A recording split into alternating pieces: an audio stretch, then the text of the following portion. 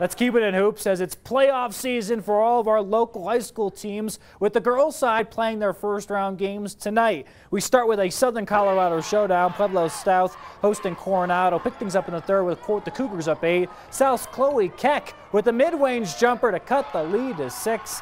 Then later in the third, South continuing to chop away at the Cougars league. Keck with great ball movement leads to a Madison Bussy three. That's team basketball at its finest to cut the lead to one. But the Cougars respond on the next possession. Deshani Bruner finds the lane, lays it up for two. As Coronado completes the road upset 45 to 44 will face Mullen in the second round. Now back here in the Springs, Lewis Palmer hosting Eagle Valley, who's all LP, pick things up in the fourth. Rangers rolling. Courtney Ald from a long range. Guess what? She's going to nail it. Then check out this baseline drive by Griffin Greenwood. The Air Force commit with the beautiful reverse layup as the Rangers roll 58 to 43 and will face TCA in the second round. Boys